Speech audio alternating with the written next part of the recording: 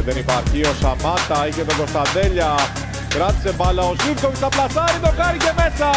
Ένα-τρία, το γκολ που έψαχνε ο Πάοκ έρχεται